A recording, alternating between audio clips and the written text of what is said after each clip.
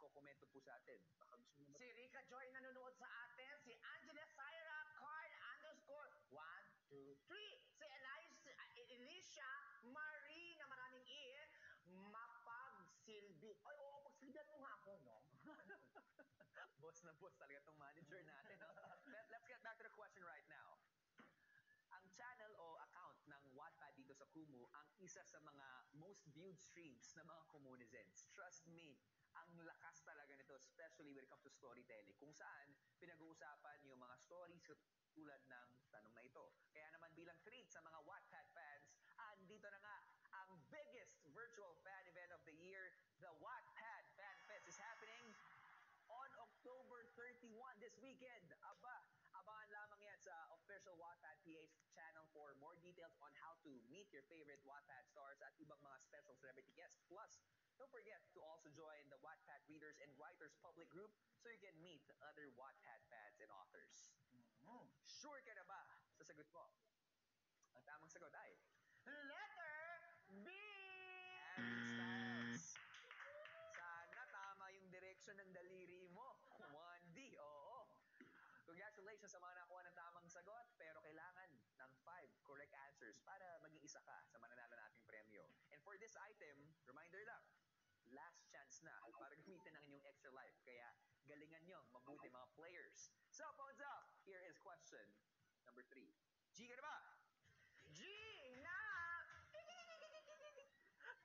Nagtanggal na ng headphone, no? Okay.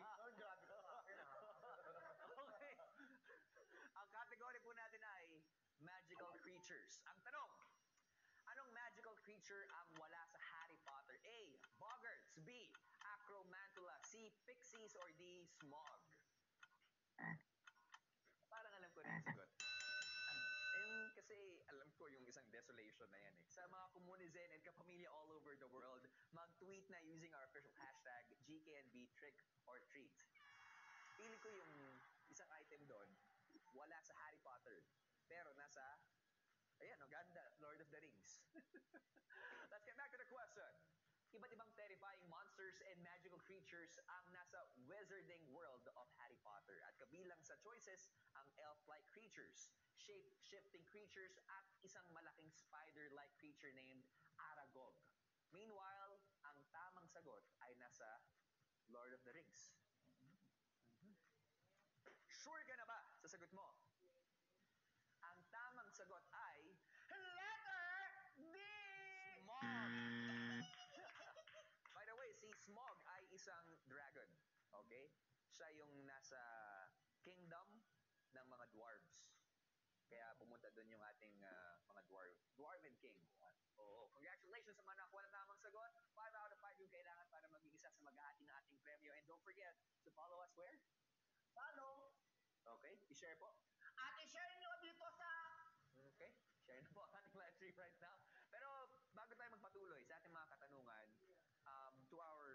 Beautiful witch, mm-hmm. please greet our community teams. Hello, hello sa mga nanonood. Twilight mga teams. Twilight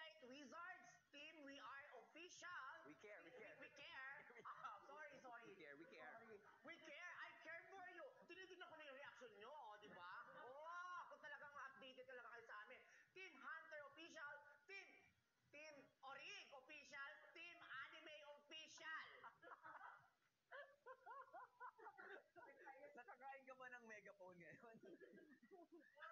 oh, meron pa isa. Team At Anime. Team Anime, Bigas Family. Oh, mabuhay kayo. Ayan. At saka yung ano, kay Ni Kapot, saka yung Arlene. Decoders! Ate Arlene, maraming maraming salamat. Binusog mo kami. Nagpadala ka na naman ng food. Meron na naman? Oo, araw-araw na papadala sa atin sa Ate Arlene. Tsaka si Bella Gonzalez at si Madam Kay. So, oh my God. Next week, mayroon tayong something from Canada daw. Yes. Uh, Saktong-sakto. Oh, Henry! Oh, oh Henry, Masarap ka na? from Canada. At saka balita ko, may something daw tayo next week galing Montreal. Ah! ah! Players, maganda na habang iniintay po natin yung mga package na yon dahil kami ay may special package just for you in a form of a question. Cell phones up. Here is question number four. G, ka na ba? G nga! Ang supernatural beasts.